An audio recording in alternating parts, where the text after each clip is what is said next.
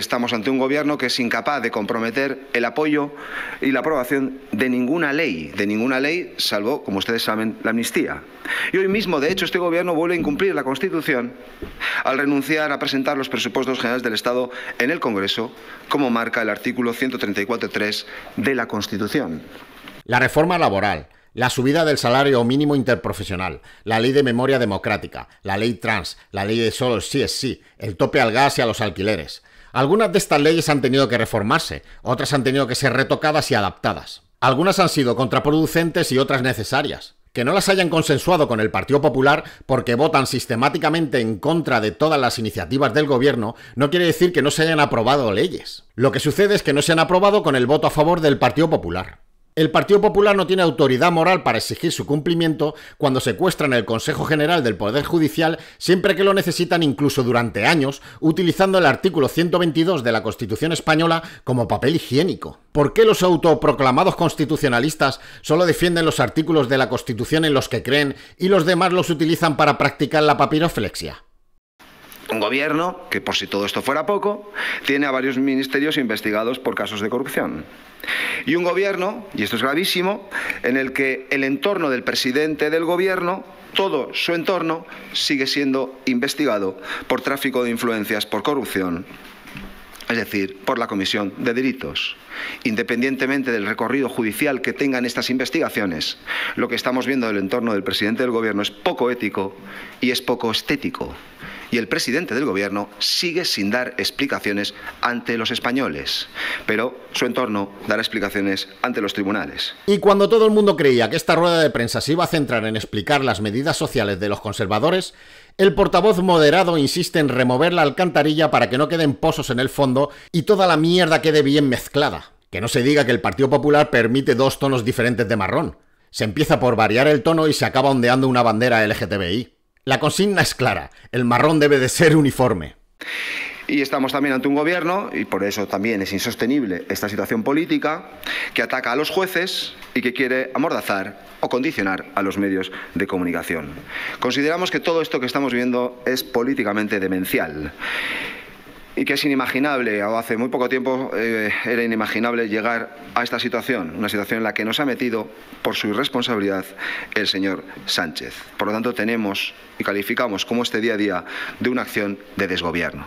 El diputado Semper debería explicar si considera medios de comunicación a OK Diario, The Objective, Libertad Digital, Alerta Digital, Mediterráneo Digital, se han adaptado los tiempos con la palabra digital, pero en el fondo mantienen el espíritu analógico, porque no veas el por culo que dan. Creo que la ley de regeneración democrática que pretende impulsar el gobierno, y más concretamente el apartado contra los discursos de odio, siempre que salga consensuada del Parlamento y sea igual que la del Parlamento Europeo, será una buena ley. Habrá transparencia sobre la procedencia de la financiación que hay detrás de los medios de comunicación y se pondrá freno a los bulos y a los discursos de odio. Y vamos a revertirlo, como les decía antes, nuestra obligación constitucional, nuestra obligación política como oposición es controlar la acción del gobierno, señalar que aquello no, funciona bien, es, es señalar los desmanes y señalar las vías de agua cada vez más grandes que tiene este gobierno. Pero la oposición no solo es oponerse al gobierno, sino que también es ofrecer una alternativa.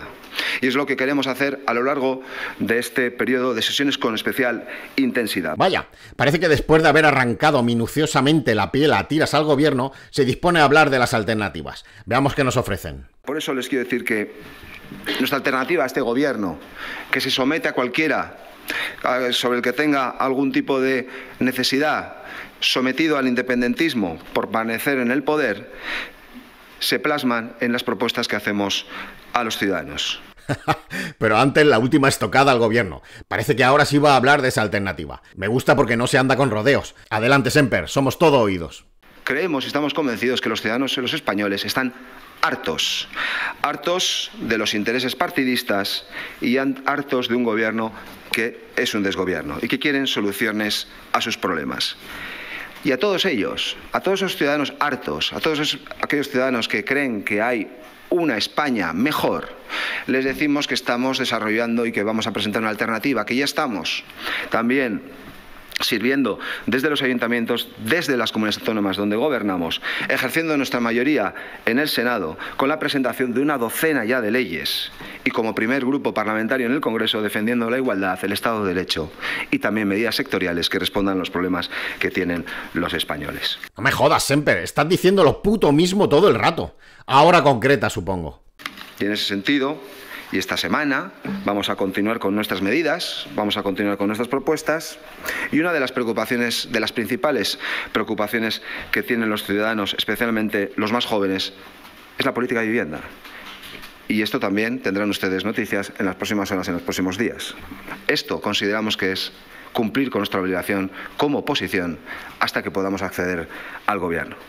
El Partido Popular es como las empresas que te dan un mes gratis y luego tienes que pagar una cuota al mes para seguir recibiendo los servicios. Es decir, el pollo te dice que va a presentar unas propuestas que son las propuestas que llevan más de una década presentando Sumar y Podemos. Y que si quieres que simplemente tienes que votarles para que accedan al gobierno y desde ahí ponerlas en práctica. Lo llaman ley de conciliación cuyas ideas están tan masticadas por la izquierda que ya no les queda ni sabor. No me imagino las broncas que te tiene que estar echando Bárbara Goenaga todos los días, colega. Es decir, después de más de un año criticando al gobierno sin presentar una mierda, ¿llegáis ahora con las propuestas de Sumar y Podemos? Esta gente cree que somos gilipollas o algo, tío. El Partido Popular ha perdido el norte por completo. Que se lo digan a Feijó, Tellado y Semper que vienen de allí. Están más perdidos que Ortega Smith y Jorge Buxade en una convención sobre control de la ira. Y no saben qué hacer si siguen machacando al gobierno, si proponen algo, si juegan a poli bueno y a poli malo con Semper y Tellado. No es ni bueno ni sano para una democracia que el primer partido de la oposición dé más bandazos que Tony Cantó decidiendo partido político. Y es que nuestro país está polarizado, pero todavía no está desestabilizado. Y todo esto no ayuda en nada a la estabilidad de un país, y ni yo, y supongo que la mayoría de los que están escuchando esto, desean un país desestabilizado. Os habla Fran Trípode, esto es La Voz de Nadie. Gracias por estar ahí y nos vemos en próximos vídeos.